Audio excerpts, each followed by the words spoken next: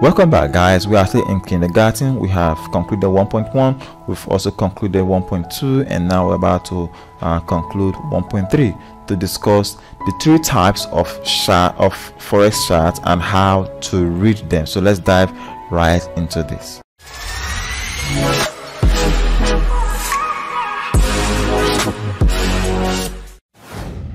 So welcome guys to three types of forex charts and how to read them. In order to study how the price of a currency pair moves, you need some sort of way to look at its historical and current price behavior. So, a chart, or more specifically a price chart, happens to be the first tool that every trader using technical analysis needs to learn. A chart is a simply visual representation of currency pairs price over a set period of time. So enough of reading. This is the chart this is what you will be seeing. And now we have discussed we have said we've said everything we've, we, we have uh, we are seeing here. It's a visual representation of historical data of the price of a pair right? So now let's talk about the three types of pair what does it what does a price chart represent? A chart aggregates every buy a chart aggregates every buy and sell transaction of that financial instrument okay? Not interested in that. This is what we're interested, interested in types of charts okay one we have the line chart the bar chart and the candlestick chart the line chart looks like this. This is how it is. Let me show you a live chart this is a line chart of the pair of the pair GJ, GBP, JPY. This is a line chart, right? This is how it is. Can you trade like this? It's not beautiful, right? I mean, it's what is we're just seeing a line. So there are more to this. So let's go back. So now that we've known a line chart, let's look at the other one. Hmm? The bar chart. Now the bar chart is a little more better, right? The bar chart gives us information like how the market opens and closes. Look here where i'm clicking. So this is the bar chart so here we have a bar chart now if you look at it very well on this bar chart you see um, a a horizontal line here a horizontal line here and this vertical line here.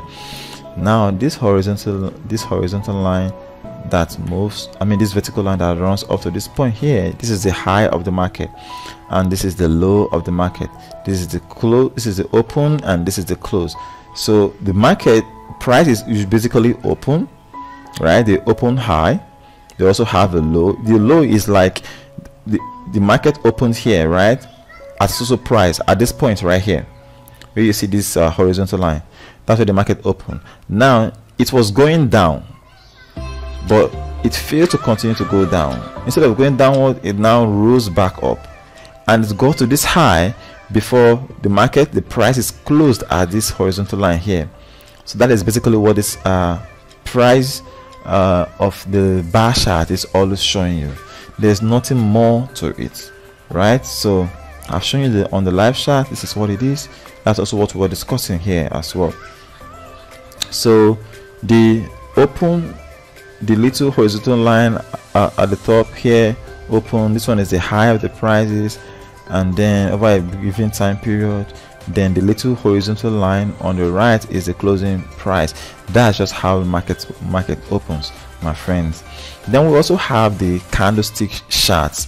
Now the candlestick chart is almost related to the uh, uh, bar chart but it's more better and more glaring to see so for the candlestick chart this is the open this is the close this is the high and this is the low of the market.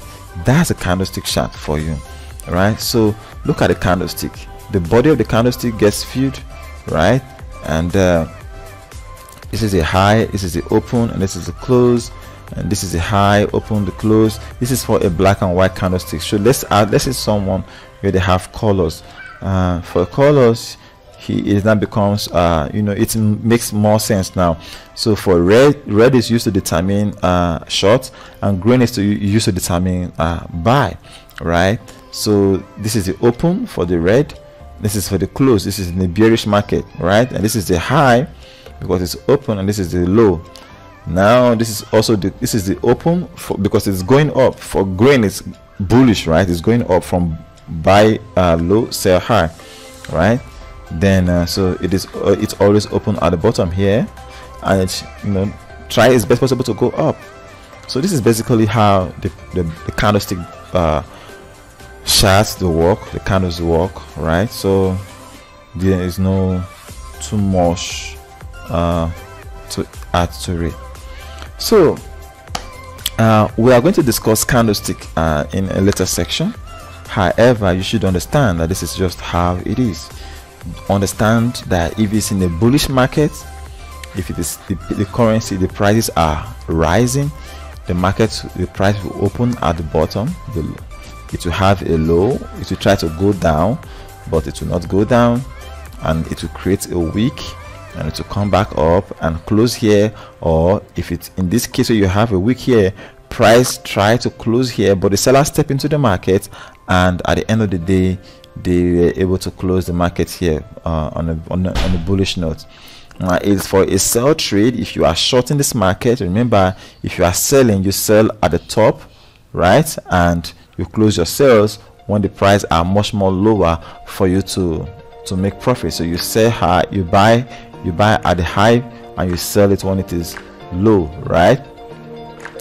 For the selling trades.